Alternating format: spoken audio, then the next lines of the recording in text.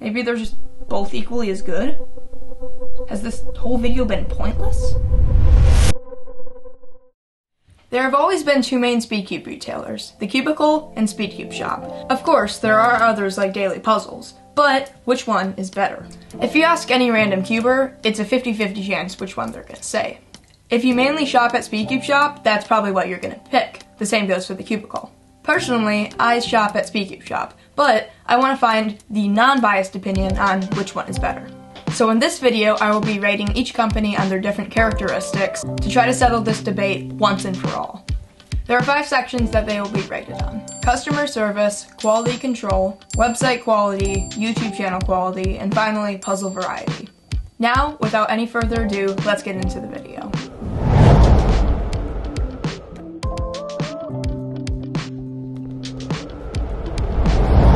To score, whatever company is better in the chosen characteristic, they get a point. Most points at the end of the video wins. First up is customer service. I have bought plenty of cubes from both companies. I've generally bought more from Speedcube Shop, and generally my experiences with Speedcube Shop have been better. When I ordered my 2x2, the GAN 251M Leap, Speedcube Shop said on their website that they did not yet have it, but when they got it, they would ship it to me. I knew this ahead of time, but I really wanted it, so I ended up buying it. After about a week or so, they sent me an apologizing email saying that they didn't have it yet, but they hope to ship it out to me soon.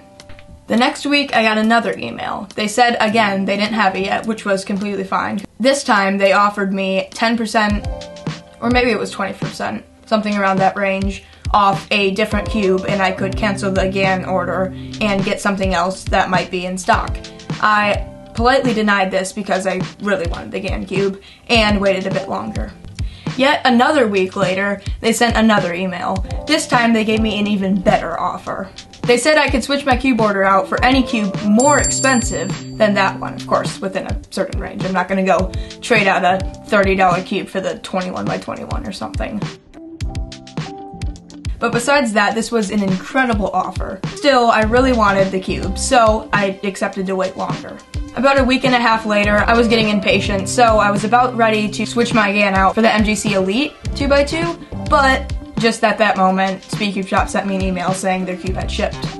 You can tell they really wanted me to have a good shopping experience and they went to incredible lengths to ensure that I did. A similar thing happened with the Cubicle. I just ordered the Tornado V3 Pioneer version and they said they didn't have it in stock quite yet, but they would get it within a week or two. So I ordered it. And for two months, yes, I mean literally two months, I got no email, no information from them at all, and their website kept saying that they were still not in stock. After those two months, it did end up shipping. Honestly, I would be fine with this if Speedcube Shop hadn't gone out of their way before this had happened to make sure I had a good shopping experience. The Cubicle just didn't send anything and just made me deal with it until it shipped. I have nothing against the cubicle, but this point is going to undoubtedly go to Speedcube Shop. Next section is quality control. With this, I have had absolutely no problems from either company. Every cube I've gotten has been in perfect condition, all the parts have been with it, and just generally everything with it has been just how I expected. I can't pick a clear winner here because I haven't had any problems with it, so I'm just going to give a point to both of them because both of them were extremely good. For our next section, we have website quality. It's extremely important to have a good website with your company. Even if you have great customer service and great quality control and great everything else, if you don't have a good website, no one's really going to want to shop there. The Cubicle and Speedcube Shop both have really good websites. They both have a bar at the top of the screen with different menus that you can go to within it. They have a bar of announcements flashing across the top of the screen of different deals, new cubes, and more. Below that, they both have different sections of cubes, different cube brands, and much more. In general though, I think the Cubicle has a better website.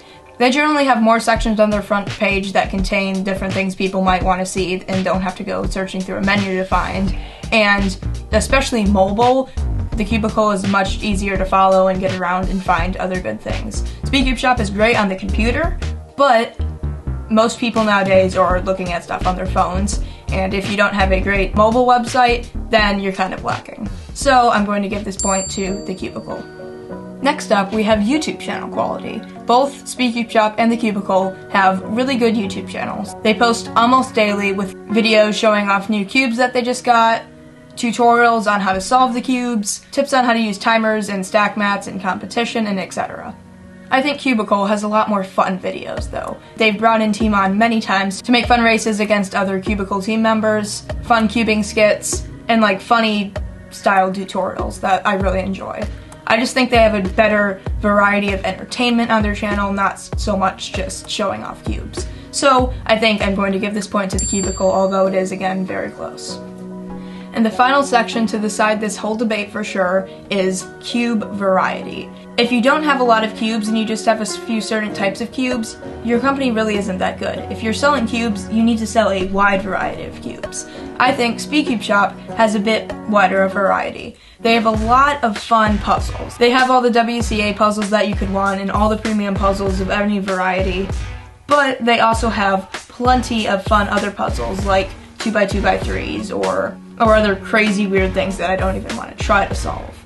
So, they generally have more fun cubes along with plenty of flagship cubes in all the newer releases. So, I think I'm going to give this point to Speedcube Shop. Wait, that makes it a tie. Maybe they're just both equally as good? Has this whole video been pointless? Comment down below what company you think is better so we can finally end this debate and hopefully have a true answer of what is better, Speedcube Shop or The Cubicle.